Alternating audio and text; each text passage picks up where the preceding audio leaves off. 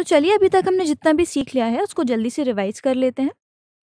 आपका सबसे पहला स्टेटमेंट है the human neural system is divided into two parts पहला पार्ट है आपका सेंट्रल नर्वस सिस्टम एंड दूसरा है पेरिफेरल नर्वस सिस्टम मैं वापस से रिपीट करती हूँ, आप नर्वस सिस्टम बोलें या फिर न्यूरल सिस्टम बोलें, बात एक ही होगी।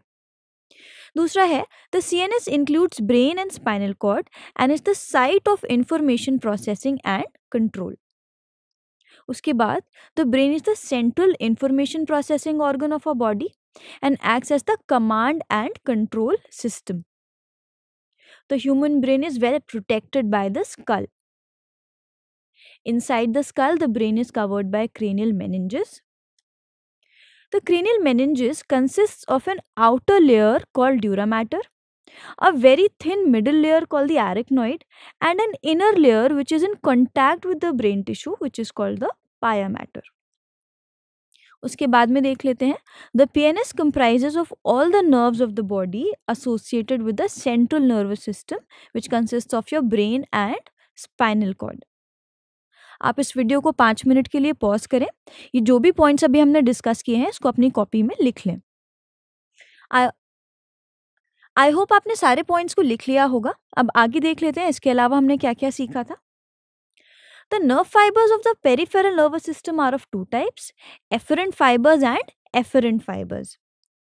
The afferent nerve fibres transmit impulse from tissue organ to the C N S and the efferent nerve fibres transmit regulatory impulse from the C N S to the concern peripheral tissues या फिर organs. The PNS is divided into two divisions called somatic neural system and autonomic neural system. The somatic neural system relays impulses from the central nervous system to the skeletal muscles. And the autonomic neural system transmits impulses from the central nervous system to the involuntary organs and smooth muscles of the body. The autonomic neural system is further classified into sympathetic neural system and parasympathetic neural system. The visceral the visceral nervous system is the part of the peripheral nervous system that comprises the whole complex of nerves, fibers, and ganglia by which impulses travel from the central nervous system to the visceral and from the visceral to the central nervous system. आप इस video को वापस से पाँच minute के लिए pause करें and जो भी पॉइंट्स हमने यहाँ पर डिस्कस किए हैं, इनको अपनी कॉपी में लिख लें।